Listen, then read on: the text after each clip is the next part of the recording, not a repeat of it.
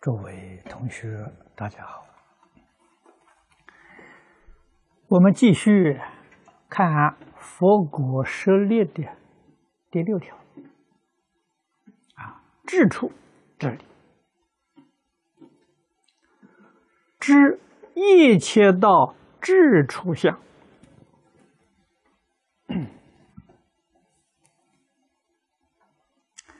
这个一切道啊，包括世间、出世间种种道门，也就是讲修道啊。无论你修什么道啊，世出世间所有一切道门，这个智处是什么呢？你修行的结果啊。你的结果是什么？佛知道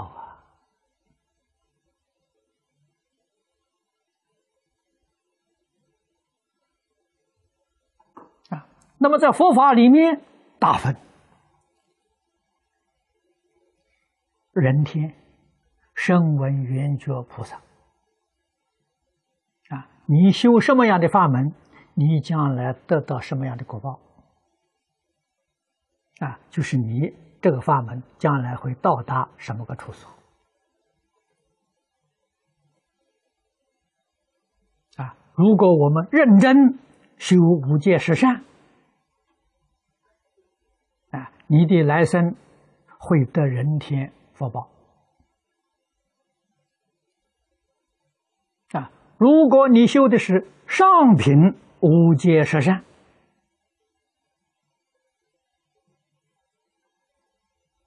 你将来会生欲界天的国宝啊！如果上品十善里面，你还修禅定，还修慈悲喜舍啊，你的果报在四禅天。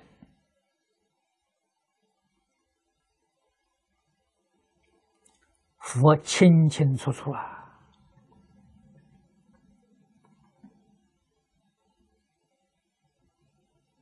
啊，我们这个世间修行的人很多啊，修行的方法很多啊，佛没有一样不知道。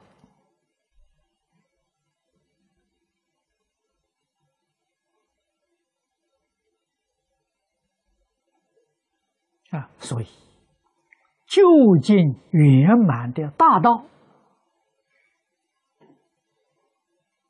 是如来果地上所证得的。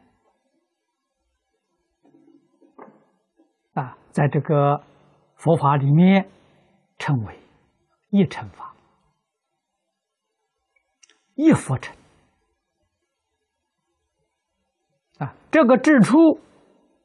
就是如来就近果地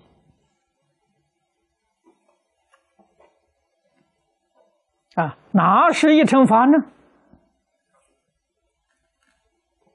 古大德给我们讲的华严是一乘法，法华是一乘法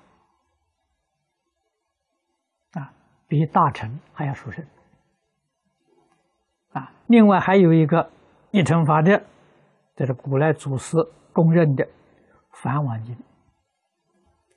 啊，古大德公认了这三部经是一乘法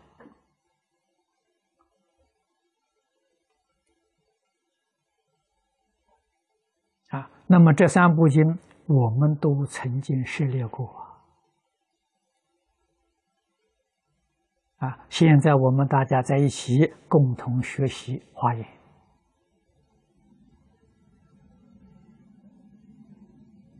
我们要想在一生当中切入如来果地境界，实在是太难了。啊，不要说是如来果地，须陀洹、小乘须陀洹、大乘初信位的菩萨，都不容易，确确实实不是我们这一生的能力呀，是靠自己的能力呀能够做得到的啊！所以，我们不能不接受啊如来的方便法门啊，这就是净土啊！待业往生，我们只有这条路可走啊！啊，确实是待业往生，因为除这个法门之外，任何法门里头没有带业的，都是消业，没有待业的。唯独净土有待业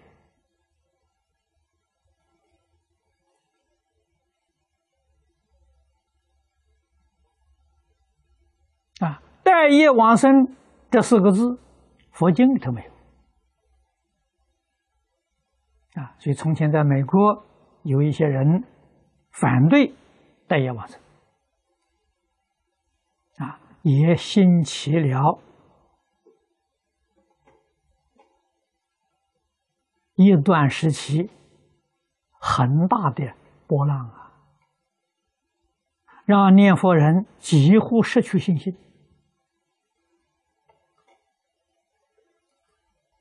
包括周宣德老居士都怀疑啊。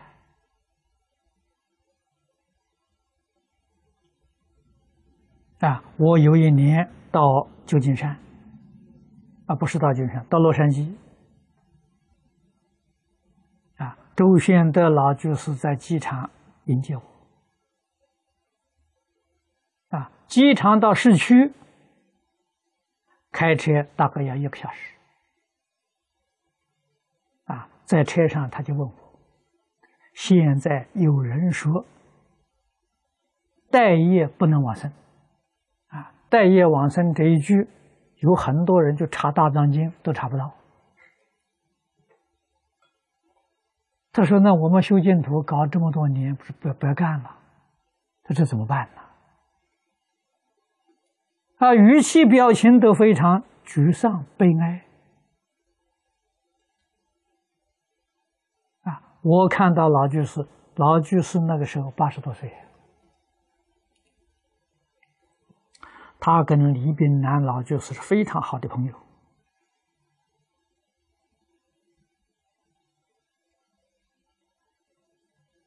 啊。那个时候李老师往生没多久他向我提出问题，我就告诉他，我笑着告诉他：“哎，我说那算了，不要到极乐世界去了吧。”啊，他听不懂我的话。啊，他听的我听到我这个话了，他都呆住了，啊，看着我，看了半天，我才告诉他，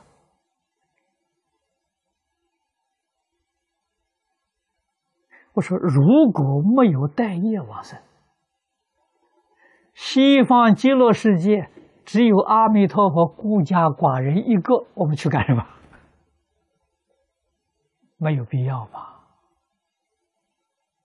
啊他还是听不懂，然后我再告诉他：“我说观世音菩萨、大势至菩萨是等觉菩萨，你知不知道？”他知道，他点头。等觉菩萨还有一品身下无名没有破，他算不算待业？哦，他这才明白了。等觉菩萨一品身相问我，待业呀。不待业是不待业，只有佛一个，佛不待业，等觉菩萨待业啊。然后问他：“我说经上虽然没有说待业往生，但是经上有没有说四土三辈九品？他这个有。如果不待业，哪来的什么三杯九品啊？哪来的四徒啊？四徒三杯九品待业多少？”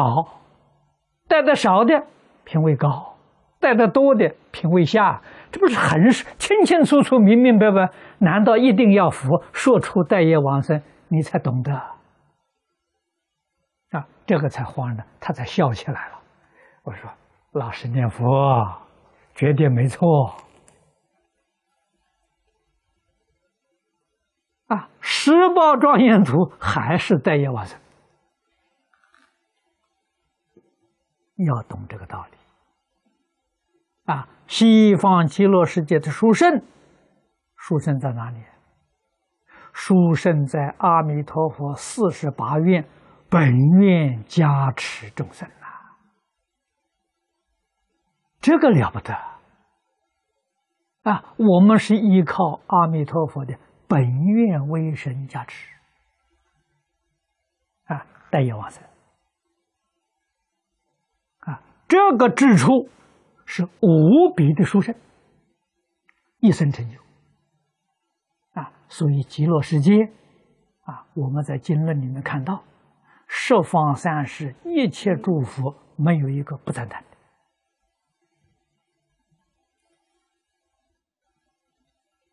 啊！世尊做代表啊，一切诸佛的代表，赞叹阿弥陀佛光中极尊，佛中之王。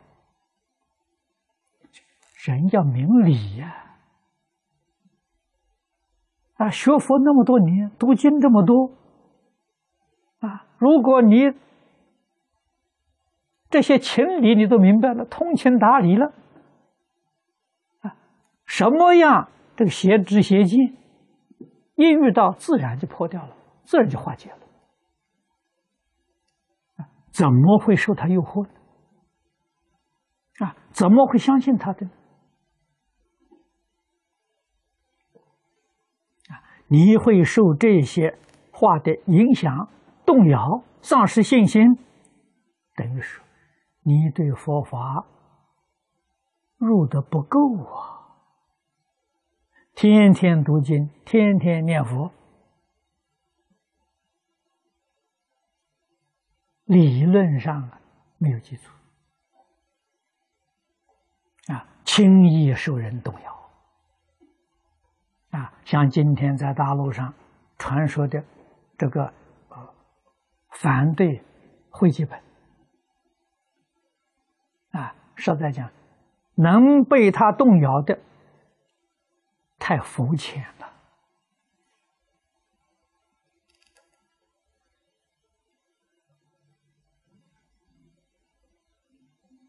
啊！会基本不识，下联就开始。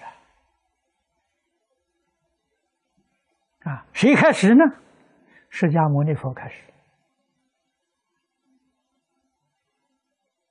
啊，佛说他老人家一生没讲过经。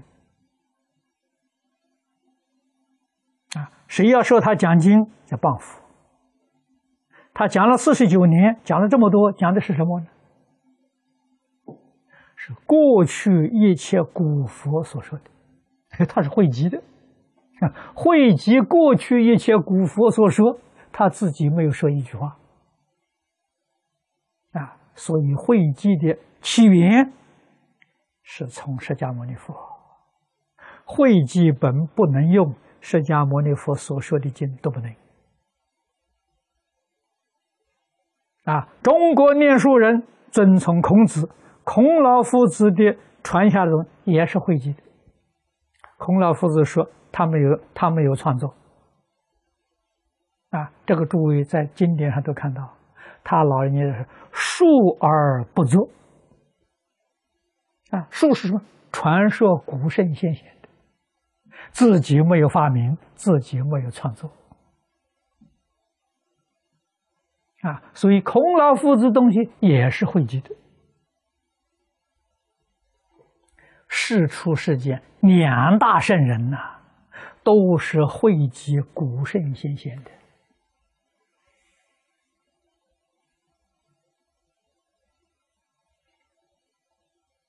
凡是说这些话，信心动摇的，根本就不懂世尊在入灭之前教导我们的四义法这个他不懂啊。如果真正明了四义法，对于这些知见、这些说法，绝对不会动摇。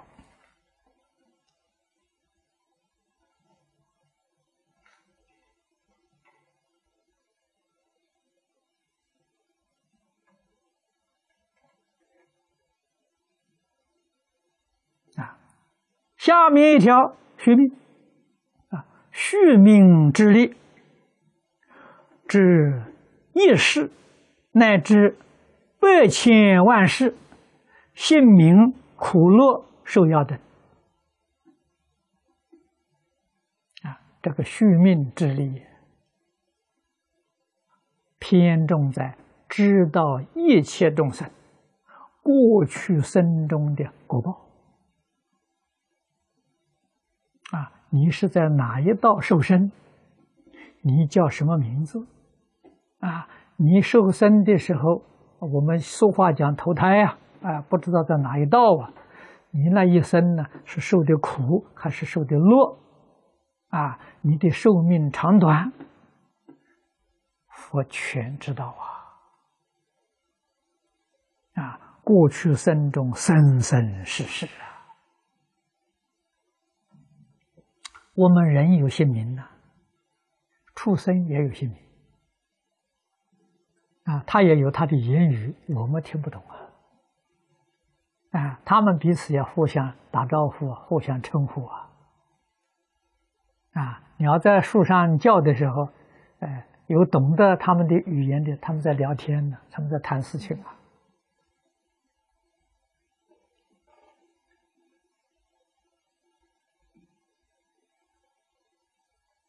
这个佛法里头有记载。啊，《高僧传》里面记载的安世高大师，他懂得鸟兽的言语。啊，几只鸟在树上叫。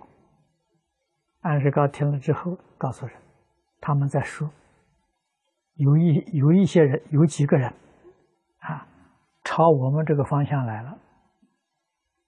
啊，这快要到了，这鸟在那里在那里聊天闲聊。啊过了没多久，果然有些人过来了。啊，鸟在那聊天的。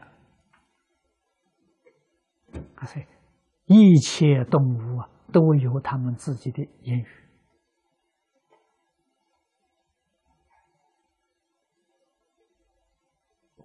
啊，佛知道，啊，这种叫续命通。啊，第九个天眼之理啊，见众生生死事实、善道恶道等啊，这是天眼，它能够突破。用现在的话来说，时间、空间。不同为次，他能突破，所以设法界一正庄严，佛眼睛里头全没有障碍，啊，知道一切众生，啊，死了以后到哪里去投胎，啊，他是到善道还是到恶道？啊，佛清清楚楚啊！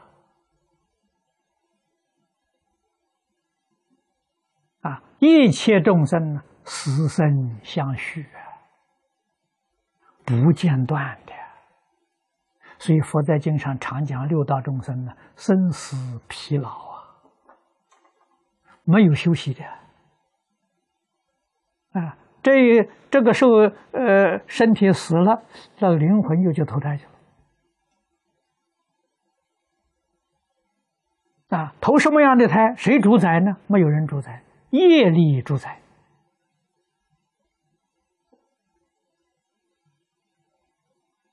啊，所以要懂这个道理。不是上帝在主宰，也不是阎罗王在主宰，啊，是你自己的业力在主宰你。啊，你造的善业。自自然然到善道去；你造的恶业也自然到恶道去。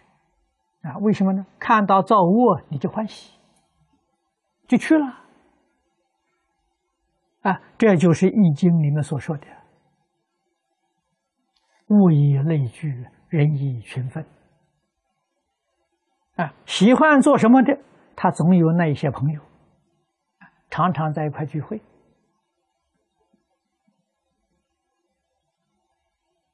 啊，在这个世间，啊，喜欢打麻将的，他有一群打麻将的朋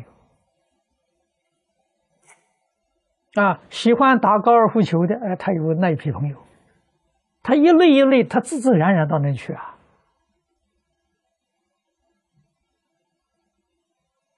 啊，像我们绝对不会到那个那个麻雀呃呃那那个场所，啊，那个高尔夫球场，我们绝对不会去的。为什么？没有兴趣嘛？那当然是浪费我们的时间嘛。我们这是外行，一一一窍不通嘛。那哪个地方有奖金，我们一定会去。啊，这就叫人以群分。哎死后也是如此，哎，你会到哪些场所去呢？你喜欢去的地方，他会到那里去。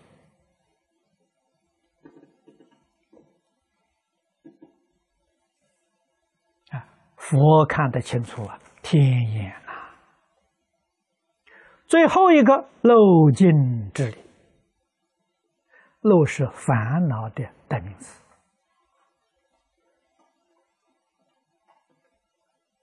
啊，烦恼为什么成漏呢？把我们自信里面的智慧功德了都漏掉了。啊，取这个比喻，啊，有漏尽之力，自知我身已尽，不受后有。啊，由此可知，漏尽之力是对自己，不是对别人啊。知道自己烦恼习气断了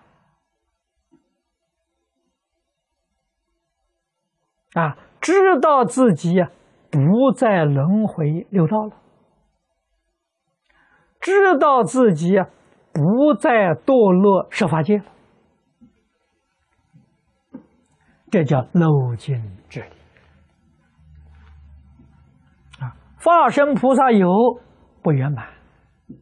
啊，化身菩萨确实绝不堕落在六道十法界里，但是在一真法界里头还有进退。啊，那我们在大经里面看到，到什么样的果位才不退呢？啊，八地菩萨，啊，八地叫不动地呀。由此可知，七地菩萨还会退转啊！但是在一真法界退转有个底线，就是初住，绝对不会退到初住以下啊，也就是绝对不会再退到十法界，退到六道，不会的。它有个底线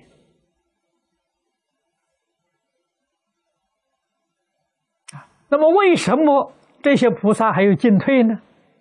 就是他精进懈怠啊。他要精进，他就往上升；他懈怠呢，他就往下堕落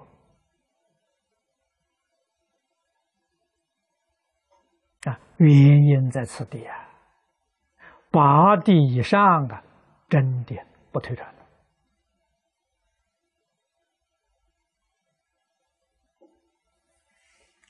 那么，如来果地，他晓得，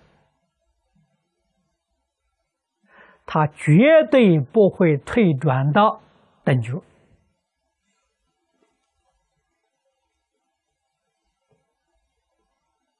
啊，他那个不受后有啊，等觉菩萨啊，不会退转到等觉。啊，所以他在十法界。广度众生。啊，随缘应化了，应以什么得生得度，他就实现什么生；应以什么方法得度，他就用什么方法。他的现身，他的说法，都是善巧方便。啊，都是为了利益众生，啊，帮助众生破迷开悟，帮助众生离苦得乐啊！那么这是如来果地上十种究竟圆满智慧的能力。